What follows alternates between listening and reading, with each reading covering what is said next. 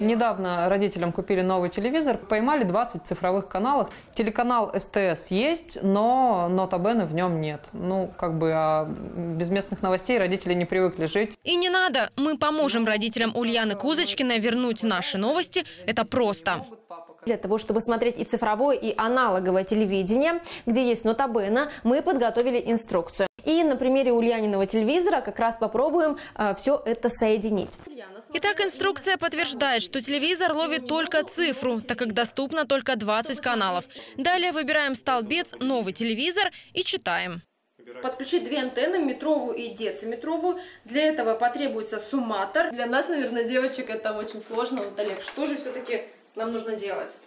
Это Олег Чернявский. Мы взяли его с собой, так как лучше, когда есть помощь мужчин, а еще Олег – главный инженер медиагруппы «Юг Сибири». И на цифры, и аналоги, как говорится, собаку съел.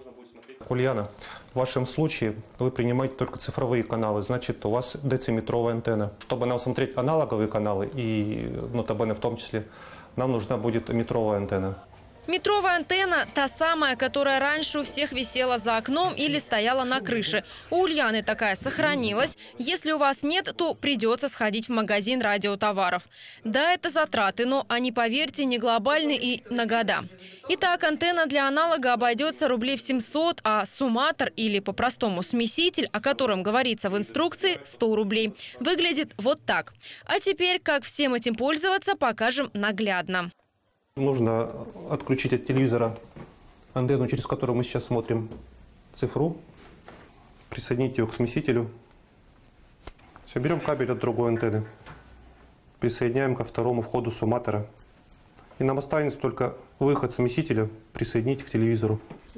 Для этого понадобится еще один кабель. После соединения второй конец возвращаем в разъем телевизора, где раньше была антенна. Все, осталось только зайти в меню телевизора и включить поиск. Найдено 20 цифровых каналов, найдено 10 эфирных аналоговых каналов. Распознать канал, где будут новости Нотабена, просто. Это СТС, справа значок ТВ-7, внизу бегущая строка и прогноз погоды.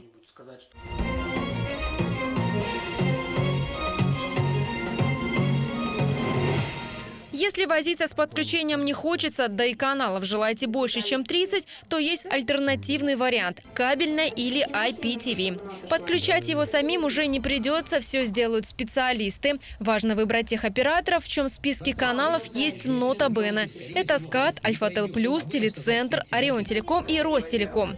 Еще один плюс кабельных операторов в том, что они дают скидки пенсионерам, а заодно могут и интернет подключить. Если у вас остались вопросы, то инструкцию, которой мы сегодня пользовались, можете найти на нашем сайте ctv7.ru. Эту памятку вы также можете взять у нас в офисе медиагруппы Юг Сибири в Абакане по адресу Щетинкина 29 или звонить нам в рабочее время в редакцию по номеру 222 700.